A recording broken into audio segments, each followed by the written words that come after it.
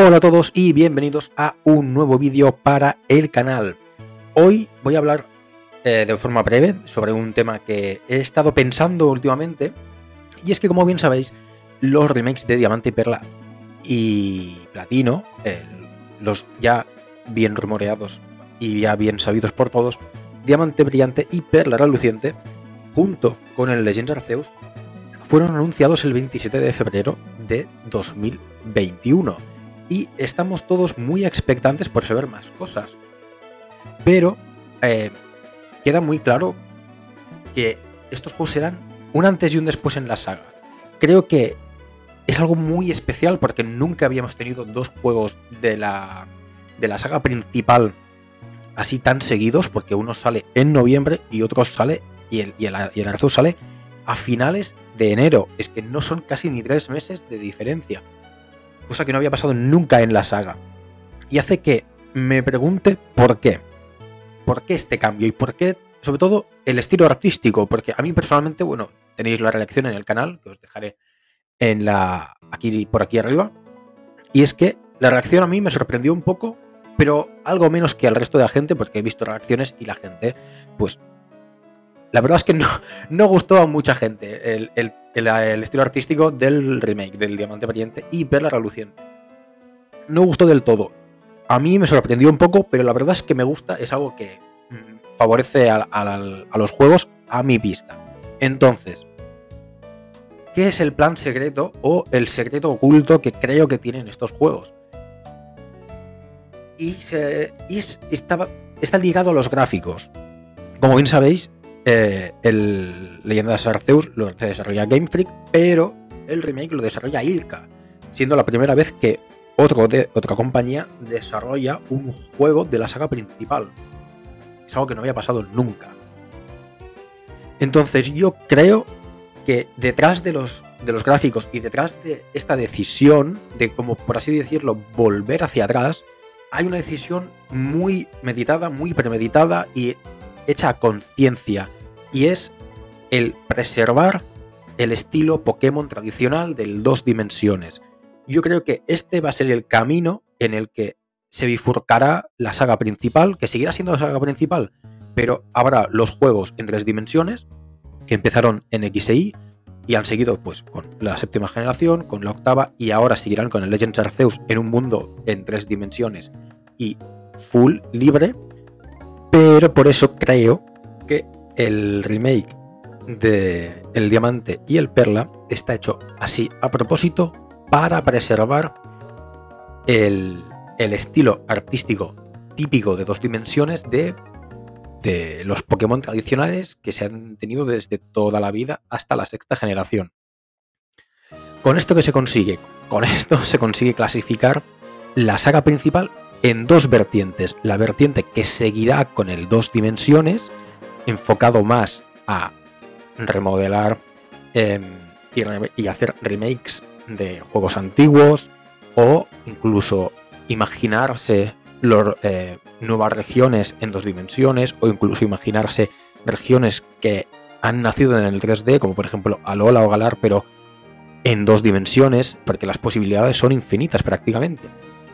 Y por otro lado, el otro camino, la otra vertiente, que sería lo que eh, todo el mundo quiere en este sentido, que es que la, que la saga siga avanzando por el tres dimensiones, que es lo que está haciendo ahora con el Legend Arceus. Creo que es algo muy importante para la saga y creo que es, mm, obviamente no se sabe nada, pero yo creo que es lo que está pasando tras esta decisión eh, de tener dos juegos tan diferenciados y tan cerca el uno del otro.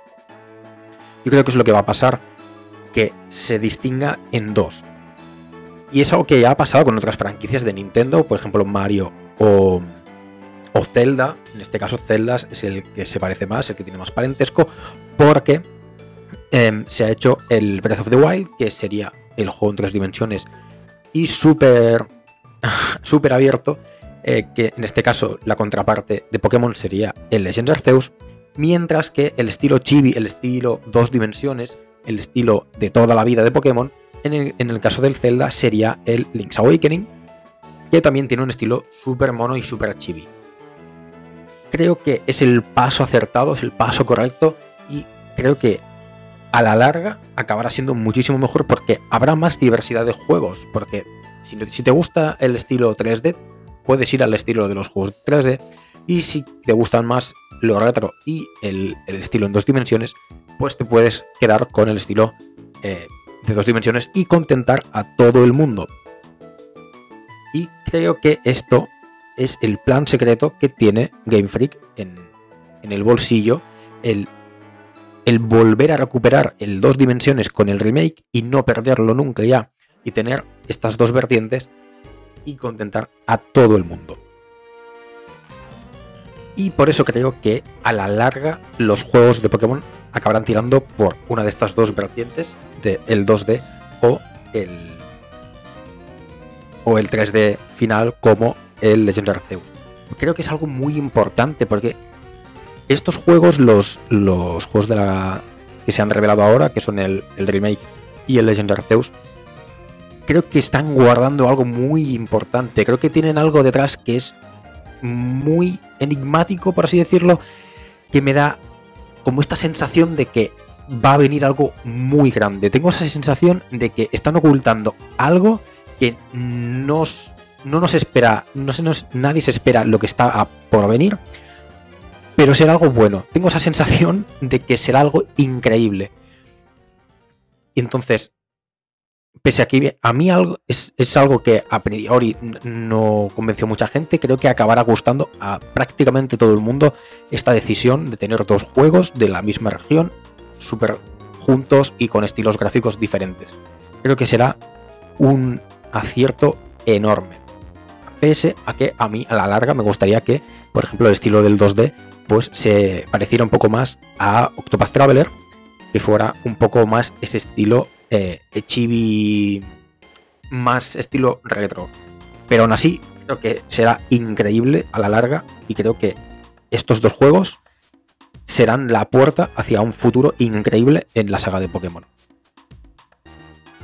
Por eso tengo interés en saber también qué opináis vosotros, porque a lo mejor es una, es una idea de olla que me he montado yo, pero tengo ganas de saber qué opináis vosotros, así que ponedme en los comentarios qué os parece esta idea, si creéis que es viable, si creéis que, que, llegará a, surgir eh, y que llegará a ser algo viable dentro de lo que cabe de lo que es Pokémon, que, llegará a ser la regla, que llegará a ser la norma.